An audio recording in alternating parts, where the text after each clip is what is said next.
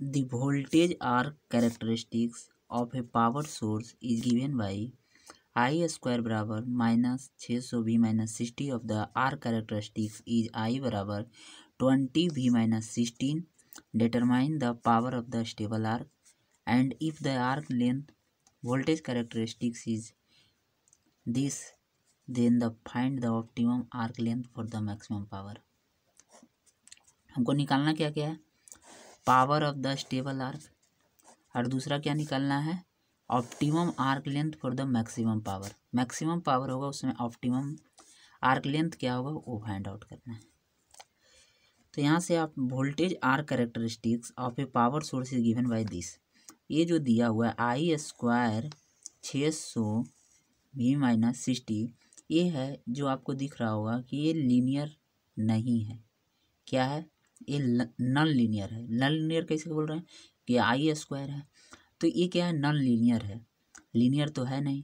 तो इससे हमको पता चल रहा है कि यहाँ पे क्या होगा? कांस्टेंट वोल्टेज सोर्स को अप्लाई नहीं करेंगे। हम लोग क्या करेंगे यूज़ कांस्टेंट करेंट सोर्स क्योंकि कांस्टेंट वोल्टेज सोर्स में क्या होता है? लीनियर होता है वहाँ पे। लीनियर करेक्टरिस्टिक्स को शो करता है। तो हम लोग वहाँ पे हम लोग ये नहीं यूज़ करेंगे यहाँ पे। कौन सा? कांस्टेंट वोल्टेज सोर्स हम लोग को क्या यूज़ करना है? कांस्टेंट क्रोथ सोर्स इससे आपको से आपको ये पता होना चाहिए? इसको देखने के बाद आपको ये फील होना चाहिए कि ये कौन सा है? कांस्टेंट करेंट सोर्स का है। क्वेश्चन है। ऑफ़ द आर कैरेक्टरिस्टिक्स और जो आर कैरेक्टरिस्टिक्स का जो ये रिलेशन दिया हुआ है आई बराबर ट्वेंटी वी माइनस सिक्सटीन ये दिया हुआ है। Determine the power of stable arc stable arc का क्या है? पावर निकालना है। तो हमको इस चीज़ को देखने के बाद हमको क्या है? आई स्क्वायर माइनस छः सौ वी माइनस सिक्सटी इसको देखने के बाद आपको यह पता चल रहा होगा कि ये क्या है? इसकी हेल्प से हम क्या करेंगे? कांस्टेंट करेंट सोर्स को हम यहाँ पे अप्लाई करेंगे। और कांस्टेंट करेंट सोर्स में ये क्या है? आई ये क्या है? वोल्टेज ये क्या है? वोल्टेज आर कैरेक्टरिस्टिक्स ये वोल्टेज आर कैरेक्टर मतलब यहाँ पर के वोल्टेज के मतलब अप्लाइड जो वोल्टेज हो रहा है, वहाँ पर का ये करेंट है। मतलब पावर सोर्स का करेंट है। अब आर्क का करेंट क्या है? आर करेक्टरिस्टिक का करेंट यह है। आपको ये भी बताना है। आई बराबर ट्वेंटी वी माइनस सिक्सटी ये आर्क का करेंट है। और स्टेबल आर्क होने के लिए हमको क्या होना पड़ेगा? आई ट्रांसफार्मर ट्रांसफार्मर जो करेंट दे रहा है, ये क्या है? ट्रांसफार्मर करेंट है। ये क्या है आपका? आर करेंट है। तो ये क्या है? ट्रांसफार्मर करेंट और आर करेंट क्या होना चाहिए? हम आई से ट्रांसफार्मर करंट का दिखा रहे हैं और आई ए से आर करेंट ये दोनों जब बराबर हो जाएगा तो हम क्या देखेंगे? फोर स्टेबल आर्क मिलेगा हमको। वहाँ पे आर्क क्या होगा? स्टेबल आर्क होगा। जब भी हमको स्टेबल आर्क करना है वेल्डिंग के समय स्टेबल आर्क तो हमको क्या है? करेंट आर्क वेल्डिंग करेंट और ट्रांसफार्मर करेंट क्या होना चाहिए? दोनों सेम होना चाहिए। आई आपको दिया हुआ है। आई इतना दिया हुआ है। तो हम क्या करते हैं आई जो दिया हुआ है यहाँ पे तो इसको दोनों तरफ़ हम स्क्वायर कर लेते हैं। क्योंकि इसको रूट करेंगे तो थोड़ा कॉम्प्लिकेटेड हो जाएगा। तो आई स्क्वायर आपको दिया हुआ है माइनस छः सौ भी माइनस सिक्सटी ये आपको दिया हुआ है। अब आई ए कितना दिया हुआ है? ट्वेंटी भी माइनस सिक्सटीन ये आपको इतना दिया हुआ है। यहाँ से आप क्या कर सकते हैं नहीं, क्योंकि आई है तो इसको दोनों तरफ़ क्या होगा? स्क्वायर होगा इसका। क्योंकि सिर्फ़ आपको क्या दिया हुआ था? ये आई दिया हुआ है। हम आई को क्या करेंगे? स्क्वायर कर लेंगे आर करेंट को। ये कर लिए। यहाँ से क्या होगा? माइनस छः सौ वी माइनस सिक्सटी ये क्या हो जाएगा? फोर हंड्रेड भी square plus minus thirty two through three two fifty six इतना आ जाएगा। आप क्या कीजिए, इसको काट लीजिए। ठीक है? तो यहाँ से क्या आ जाए? Minus three V plus one eighty.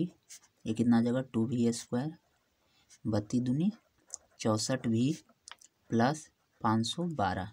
इतना आ गया आपका? पाँच सौ बारह। अब क्या करना है हमको यहाँ पे? टू वी स्क्वायर, ये इधर जाएगा तो क्या हो जाएगा? माइनस सिक्सटी वन भी और वन एट्टी। में से इसको आप क्या कीजिए? माइनस कर दीजिए तो कितना आ जाएगा आपका? थ्री थर्टी टू बराबर ज़ीरो। इतना आ गया आपका। ये क्या है? क्वाड्रेटिक है। आप इसको सॉल्व कीजिए। सॉल्व कीजिएगा तो क्या होगा आपका? यहाँ पे अल्फ़ा और बीटा का दो वैल्यू आएगा। मतलब भी का दो वैल्यू आएगा। यहाँ पर वोल्टेज है ना? तो क्या होगा? वोल्टेज का दो वैल्यू आएगा। जैसे यहाँ पे आप डी निकालिएगा सबसे पहले। B square minus four A C से। तो आपका कितना आ जाएगा? दस सौ पैंसठ। समझिए फिर आप यहाँ से क्या कीजिएगा? भी निकालिएगा। तब भी बराबर क्या होता है? माइनस। जब इसको सॉल्व कीजिएगा। इतना। डी है, ये आपका डी फाइंड आउट होगा, आप यूज़ कीजिएगा तो। यहाँ से आपका भी का दो वैल्यू आएगा। क्या क्या आएगा? Seven point zero nine volt और क्या होगा? Twenty three point four zero volt ये दोनों वोल्टेज आपका आ गया। इस वोल्टेज को आप क्या कीजिएगा? आई बराबर हमको जो दिया हुआ है, कितना दिया हुआ है?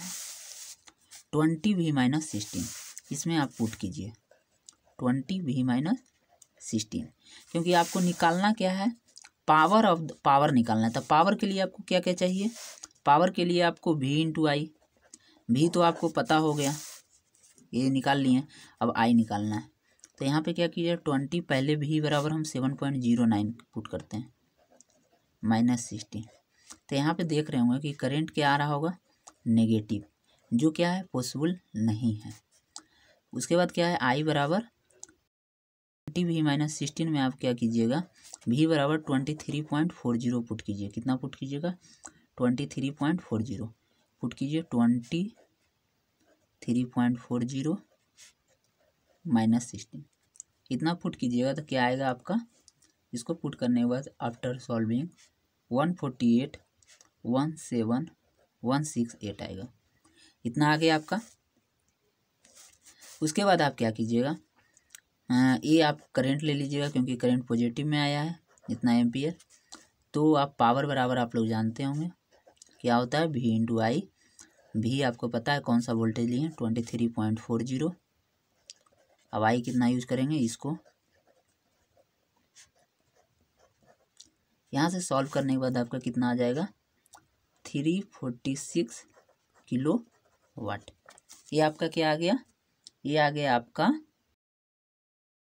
स्टेबल आर्क के के समय पावर समझिए? तो during the stable constant current source में क्या यहाँ पर दिमाग लगाना था सिर्फ़ हमको कि जो ट्रांसफार्मर करंट है और ये आर्क करंट ये दोनों क्या है? ट्रांसफार्मर करंट और आर्क करंट बराबर कर देंगे तो उस समय क्या हो जाएगा? हमको स्टेबल आर्क मिलेगा। यही कांस्टेंट वोल्टेज सोर्स रहता तो आप क्या करते हैं? यहाँ पे वोल्टेज ट्रांसफार्मर वोल्टेज और आर्क वोल्टेज दोनों सेम कर देते तो क्या हो जाता?